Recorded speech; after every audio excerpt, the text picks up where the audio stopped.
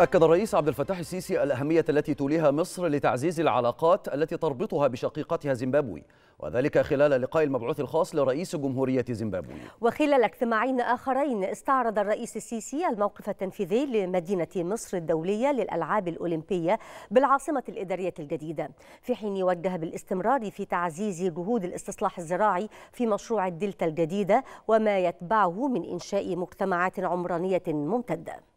استقبل السيد الرئيس عبد الفتاح السيسي المبعوث الخاص لرئيس جمهورية زيمبابوي السيد سيمباراش مومبينجيغواي وذلك بحضور السيد السفير كوامي موزاوازي الرئيس التنفيذي لمعهد المعرفة الإفريقية والسيد السفير شيبا شومبيا ويندا سفير جمهورية زيمبابوي بالقاهرة. المتحدث الرسمي باسم رئاسة الجمهورية صرح بأن السيد الرئيس طلب نقل تحياته إلى أخيه الرئيس إميرسون نانجاغوا مؤكدا سيادته.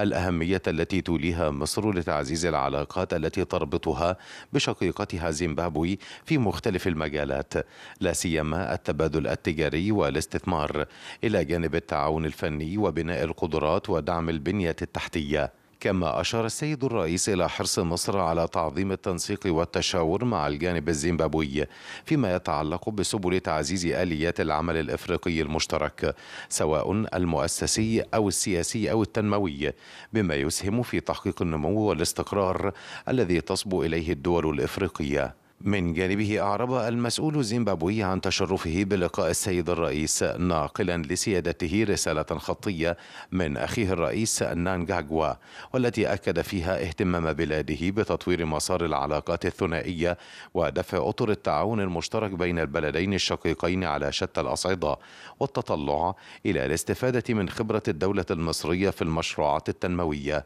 خاصة ما يتعلق بمجال التشييد والبناء في ضوء اعتزام زيمبابوي. بناء متحف ضخم مخصص لعرض تاريخ ومسيرة التحرير الإفريقية.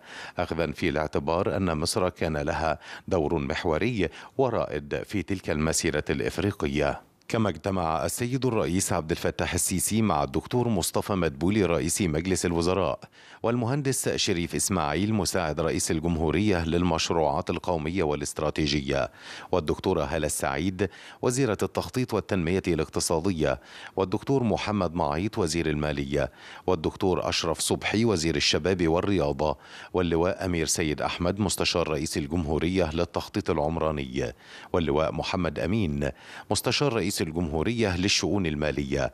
واللواء أركان حرب إيهاب الفار رئيس الهيئة الهندسية للقوات المسلحة. المتحدث الرسمي باسم رئاسة الجمهورية صرح بأن الاجتماع تناول استعراض الموقف التنفيذي لمدينة مصر الدولية للألعاب الأولمبية بالعاصمة الإدارية الجديدة. وقد اطلع السيد الرئيس في هذا الإطار على سير العمل بمختلف مكونات مدينة مصر الدولية للألعاب الأولمبية والتي تعد صرحا رياضيا ضخما متكامل الأركان والخدمات وفق أعلى المواصفات العالمية خاصة مع ما تحتويه من استعدادات وملاعب وصالات مغطاة لمختلف الألعاب الفردية والجماعية إلى جانب المناطق الخدمية المختلفة والمنشآت الطبية والفندقية والمباني الإدارية وساحات الجمهور. وقد وجه السيد الرئيس بسرعة الانتهاء من الأعمال الإنشائية بالمدينة بمختلف منشآتها وفق الجداول الزمنية المحددة وطبقا لأرقى المواصفات العالمية. وذلك على نحو يعظم من قدرة وجاهزية المدينة لتنظيم كبرى الفعاليات الرياضية الدولية في مختلف الألعاب. وبحيث تتكامل البنية التحتية الرياضية في مصر بوجه عام من استادات وصالات رياضية وملاعب تدريب متنوعة وما يتعلق بها من خدمات فنية ولوجستية مع التطوير الشامل والمتكامل للبنية التحتية والفندقية بجميع مكوناتها على مستوى الدولة بما يعكس القدرة الواقعية لمصر على استضافة أكبر البطولات الدولية. وكذلك يساهم في الترويج الثقافي والحضاري والسياحي لمصر بالإضافة إلى العوائد المالية والاقتصادية التي ستعود على الدولة. كما شهد الاجتماع عرض خطط وسيناريوهات إدارة وتشغيل مدينة مصر الدولية للألعاب الأولمبية بالاسترشاد بالخبرة الأجنبية العالمية في هذا المجال بما يتفق ويليق بحجم المدينة وتجهيزاتها الحديثة فضلا عن استعراض جهود الإدارة الاقتصادية للمنشآت الشبابية والرياضية على مستوى الجمهورية وإجمالي ما تم تحقيقه في هذا الإطار حتى الآن. وقد وجه السيد الرئيس بأن يكون الهدف الأساسي لعملية الاقتصادية للمنشآت الشبابية والرياضية على مستوى الجمهورية. هو ضمان كفاءة واستدامة حسن إدارتها وتوفير فرص عمل للشباب داخل تلك المنشآت. إلى جانب تحقيقها لعوائد اقتصادية تؤدي إلى تنمية مواردها الذاتية. كما اجتمع السيد الرئيس عبد الفتاح السيسي مع اللواء أمير سيد أحمد مستشار رئيس الجمهورية للتخطيط العمراني. واللواء أركان حرب إيهاب الفار رئيس الهيئة الهندسية للقوات المسلحة حيث اطلع السيد الرئيس على مستجدات المشروع القومي العملاق للإنتاج الزراعي الدلتا الجديدة والذي يهدف إلى زيادة الرقعة الزراعية في مصر على امتداد محور الضبعة حيث يضم المشروع في نطاقه عدة مشروعات محورية للتنمية الزراعية من ضمنها مشروع مستقبل مصر.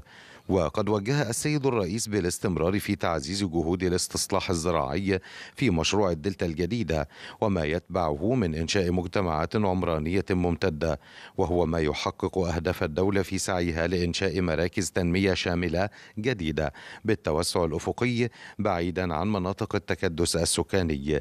كما تابع السيد الرئيس جهود استغلال وتطوير مجموعة الأراضي الفضاء داخل محافظة القاهرة خاصة في منطقة شرق القاهرة موجها سيادته بإتمام هذه العملية وفق نهج شامل. يتكامل مع المشروعات التنموية الضخمة التي تقيمها الدولة وجهود التنسيق الحضاري في المحافظة.